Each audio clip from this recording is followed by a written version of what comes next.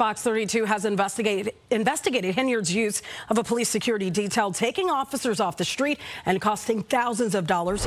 You could feel the anger tonight at a Board of Trustees meeting in Thornton Township. The board and citizens looking for accountability to their finances, while the township supervisor. Ladies and gentlemen, buckle up because today's video dives deep into the scandalous saga unfolding in Dolton. Illinois is a small town rocked by big time drama. This isn't your everyday political scandal. Oh no, this is a tale of corruption, intimidation, and yes, even an attempted elimination. The central figure in this explosive story is none other than Mayor Tiffany Henyard, a woman who some say has turned the town into her personal playground. Is there a motion to terminate Keith Freeman? And at the heart of this controversy is a chilling accusation. Did Mayor Henyard order a hit on her most vocal critic? Let's get into the nitty gritty of this dramatic feud and find out. The video starts with a bang, literally. In the early hours of July 14th, 2023, a quiet Dolton neighborhood was jolted awake by the sound of gunfire. Former village trustee Valeria Stubbs, a fierce critic of Mayor Henyard, awoke to find her property riddled with bullets.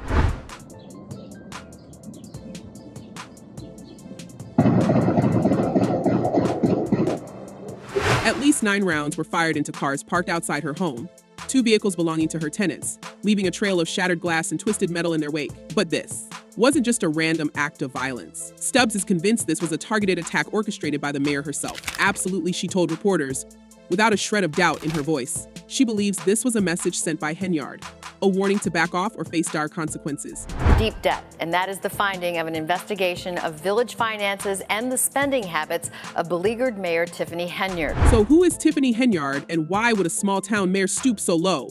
Well, let's rewind a bit and paint a picture of the woman who's been called America's worst mayor by her critics.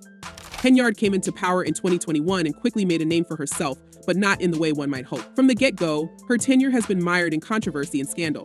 There are allegations that she has misused public funds on personal luxuries, including lavish dinners, extravagant trips, and even a bizarre DJ session during a town hall meeting where she blasted Rihanna's Can't Better Have My Money. Yeah, you heard that right. This is a mayor who likes to live large and at the taxpayer's expense. I do not handle anything as relates to with credit cards. As you heard me speak today in my board meeting about, I do not handle that. Some of those charges are for you, though. No, sir. But it doesn't stop at wasteful spending. There's a darker side to Henyard's reign. Critics have accused her of running Dolton like a personal fiefdom, using her power to intimidate and silence anyone who dares to oppose her. And the primary target of her wrath, Valeria Stubbs, a retired Cook County Sheriff's deputy and former trustee who has never shied away from calling out the mayor's questionable antics.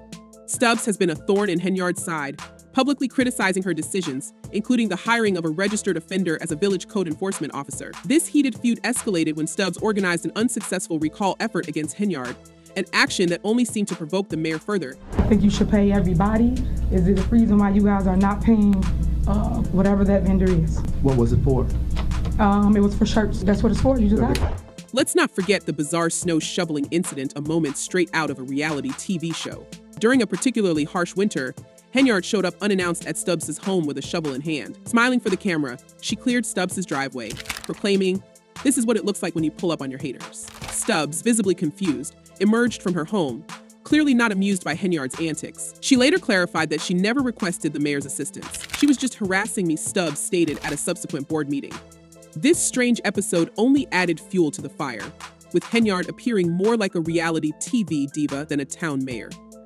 Sometimes we get invoices, but those invoices lead to more questions, and sometimes we don't get questions, um, answers to those questions. And so it's not about clickbait, it's about just making sure the right thing. As tensions mounted, the feud took a terrifying turn. Stubbs recounts another incident where Henyard arrived at her property with a caravan of police and city workers ringing doorbells and asking her tenants where she were. It was as if Henyard was conducting a personal vendetta, using village resources to do so. And then came the shooting.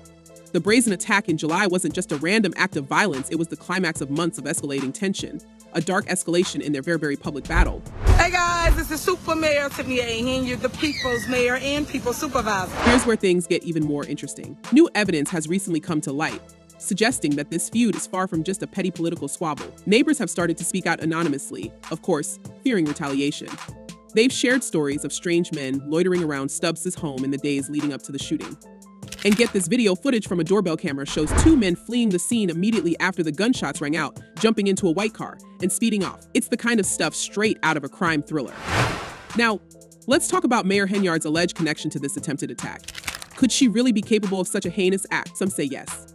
According to multiple sources, Henyard has a history of using the police force as her own personal enforcers. A former Dolton police chief, Robert Collins, who was fired by Henyard, has come forward with damning claims about her misuse of police resources. Collins alleges that Henyard kept officers on her personal security detail, pulling them off street patrols even during times of critical understaffing. We needed those officers to be on the street fighting crime, Collins stated. Instead, we have several officers that are riding around protecting the mayor. It doesn't take a leap of imagination to see how such tactics could extend to more nefarious activities. Could Henyard have used her influence over the police to orchestrate an attack on Stubbs? Some believe it's possible especially considering the sheer fear she has instilled in the community. Residents are reportedly terrified, constantly looking over their shoulders, informing each other of their whereabouts, and living in a state of perpetual anxiety. One resident said, We don't trust the police here, suggesting a deeply entrenched climate of fear and mistrust under Henyard's rule. I am about to address some things as the supervisor. Uh, there will be no comments, there will be anything, it'll just be me addressing you guys to tell you what's going on. But wait, there's more. Remember when we mentioned Henyard's penchant for the dramatic? Well, it seems her theatrics aren't limited to public appearances. Sources suggest she has ties to organized crime. While this might sound like a wild accusation, consider the evidence the mysterious men seen outside Stubbs' home the boldness of the shooting, the lack of any substantial police investigation afterward. It all points to someone with both power and a disregard for the rule of law. Someone like Henyard, who critics say runs Dolton with an iron fist and a flair for the dramatic. Mr. Lacy is absolutely not guilty of all nine counts. I believe he's cooperating. And if you cooperate, you have to admit your guilt first. As the scandal continues to unfold, more witnesses are stepping forward, emboldened by the growing media scrutiny and the possibility that Henyard's days in power might be numbered.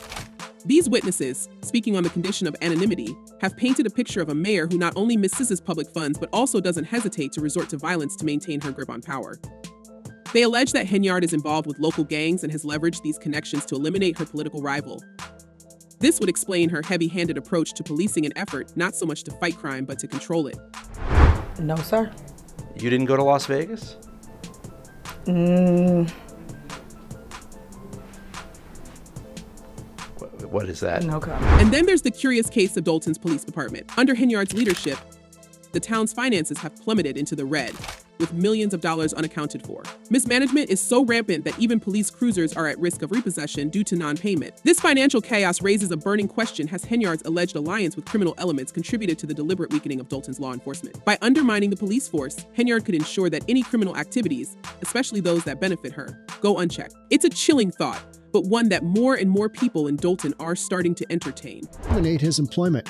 I don't believe that is legally correct. That's just not the way municipalities operate, right? Now, let's talk about the broader implications of this scandal. What does it say about local governance when a mayor allegedly uses her position to harass, intimidate, and possibly even eliminate someone? It's a stark reminder that power can corrupt absolutely, especially in small towns where oversight is minimal and the lines between personal vendettas and public service become dangerously blurred. Henyard's administration has been characterized by a lack of transparency, an abuse of power, and a relentless pursuit of personal gain, all at the expense of Dolton's residents. The situation in Dolton has reached a boiling point, with calls for Henyard's resignation growing louder. Even former allies have turned against her. Thornton Township trustee Carmen Carlisle, who was once part of Henyard's inner circle, has come forward as a whistleblower, accusing Henyard of unethical and predatory behavior. Carlisle's decision to speak out is a significant blow to Henyard, who has long relied on a tight knit group of loyalists to shield her from criticism. But now, with the walls closing in, it seems even her staunchest supporters are jumping ship. Coming in, I mean, unfortunately, we knew it was going to be a little messy, um, but it's just something we felt important that had to be done, that should be done. So, but like I said, you have just some accountability. It's not just local critics who are raising their voices. The Illinois State Comptroller has taken the unprecedented step of withholding funds from Dolton due to the village's failure to comply with financial reporting laws, a move directly attributed to Henyard's mismanagement. The Comptroller's actions have further fueled the fire, signaling that even state officials are fed up with Henyard's antics. This financial stranglehold could be the final nail in the coffin for Henyard's political career, as Dolton's already struggling economy cannot afford to lose vital state funding. Or the administration can adhere to some financial limits. We're not looking to necessarily As the investigation into Henyard's actions intensifies, with federal subpoenas being served and rumors of an FBI probe swirling, one thing is clear the drama in Dolton is far from over. Residents are demanding answers, accountability, and, most of all, justice. They want to know if their mayor is indeed a corrupt official willing to go to any lengths to silence her detractors. Or worse, if she is a criminal mastermind with ties to organized crime, using her position of power to commit unspeakable acts. In conclusion, as the saga of Tiffany Henyard unfolds, it leaves us with a lot to ponder. Is Henyard just a corrupt politician, or is there something even more sinister at play? Could this be a case of a small town mayor turning rogue? Or are we witnessing the rise and fall of a political figure with deep criminal ties? Until next time, stay tuned, keep questioning, and don't forget to leave your thoughts in the comments below.